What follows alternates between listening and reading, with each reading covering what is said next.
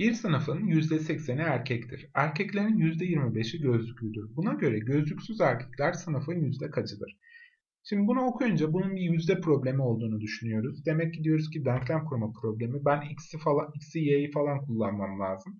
Hani bunlar aklınıza gelebilir ama e, genelde böyle %80, %25 gibi bunlar güzel sayılar. Bunlar çünkü basit e, kesirlere dönüşebilen sayılar.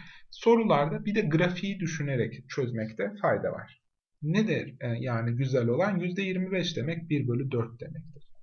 %50 nasıl bir şeyin yarısıysa 1 bölü 2 ise %25'te 1 bölü 4 demektir. Hani burada bana getirip %37, %43, %52 falan deseydi ben bir korkar hani X'te Y'ye girmeye bakardım. Çünkü grafiği nasıl %52'sini alayım?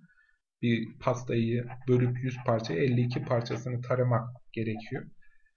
O zor ama %80 demek de yani %80 şunu da öyle okuyoruz. %80 80 bölü 100 sadeleştirdiğimde 4 bölü 5 8 bölü 10 4 bölü 5 ne demek bu? Bir tane pastam var.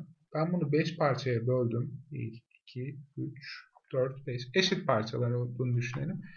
Bu e, pasta parçaların 4 tanesi erkekmiş yani. Erkek, erkek, erkek, erkek ve kız. Erkeklerin de %25'i gözlüklüymüş. Erkeklerin %25'i gözlüklü. %25 neydi? 1 bölü 4'üydü.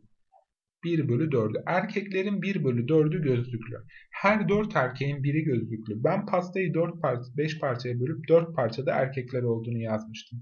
Bu 4 parçanın bir tanesi gözlüklü olacak. Gözlüklü, gözlüksüz, gözlüksüz, gözlüksüz. Bana neyi soruyor? Diyor ki gözlüksüz erkekler sınıfın yüzde kaçıdır? Sınıfın yüzde kaçıdır diyor. Toplam 5 parçaya böldüm pastayı. 3 parçası gözlüksüz. Yani 3 bölü 5'i gözlüksüz. Tüm sınıfı. Çünkü tüm sınıfı böldüm. Önce erkekleri kızları ayırdım. Sonra erkekler için de gözlüklüyü ayırdım. Dörtte biri gözlüklü dedim. Bir parça gözlüklü olsun. Geri kalan 3 parça da gözlüksüz. Tüm erkekler içerisindeki gözlüksüzler 3 bölü 4. Ama tüm sınıf içerisindeki ise 3 bölü 5. Peki 3 bölü 5 yüzde olarak neye eşittir? Pratik yolu bunun alt tarafı yüze eşitlemektir. Alt tarafı yüze eşitlerken 20 ile çarptım. Üstü de 20 ile çarpacağım. 60 bölü 100. Yani yüzde 60'ı gözlüksüzmüş. Tabi bunu 80 bölü 100 e, çarpı 25 bölü 100 gibi e, matematiksel ifadelerle de yapabiliriz. Grafikle de bu şekilde yapabiliyoruz. Bir pastayı düşünüyoruz, bölüyoruz.